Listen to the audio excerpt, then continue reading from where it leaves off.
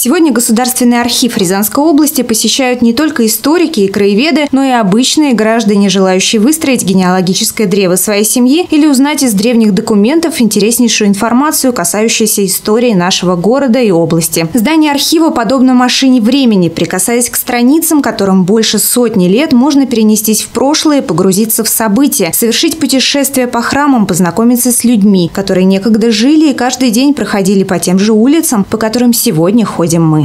Абсолютно любой документ, который хранится в Государственном архиве, отражает историю нашего края. Вот, допустим, это дело.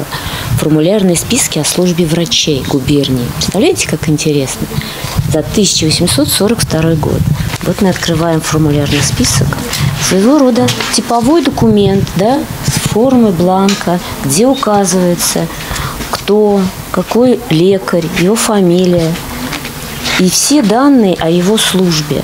С этими документами сегодня может ознакомиться каждый. Конечно, процедура посещения архива довольно сложная. Так, например, совсем недавно запись в читальный зал делалась уже на ноябрь этого года. Очевидно, потребность в его расширении появилась уже давно. И вот 14 июля в теплой домашней обстановке был открыт обновленный читальный зал, на ремонт и обустройство которого ушло всего три недели. Читальный зал, который был, он был настолько мал, мы действительно его в прошлом году ремонтировали. Но увеличивается количество посетителей, увеличивается сам подход к работе и интерес.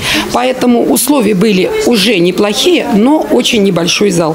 Поэтому мы пришли и пошли на то, что расширили вот этот вот зал. У нас здесь была библиотека, библиотеку мы переместили, а здесь сделали вот такой читальный зал.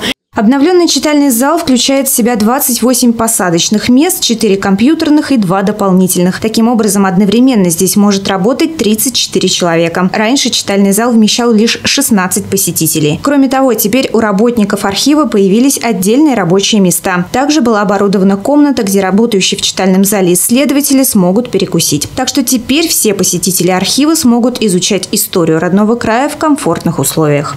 Все люди, которые занимаются историей, занимаются краеведением, могут прийти в государственный архив и в нормальных, комфортных условиях, где им никто не будет мешать, изучать историю родного края, заниматься краеведением, заниматься э, своим э, творчеством, искать э, своих родственников. Главную цель, которую ставят перед собой работники Государственного архива Рязанской области – создать лучшую архивную службу. Открытие читальных залов – это лишь первый шаг. Далее планируется создание оцифровочного центра. Сейчас в электронном виде можно ознакомиться лишь с незначительной частью архивных документов, а вот к интернету компьютеры читального зала не подключены.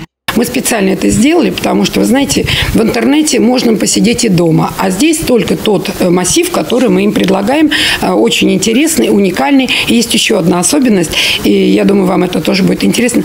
Там ничего нельзя изменить. Там можно только прочитать.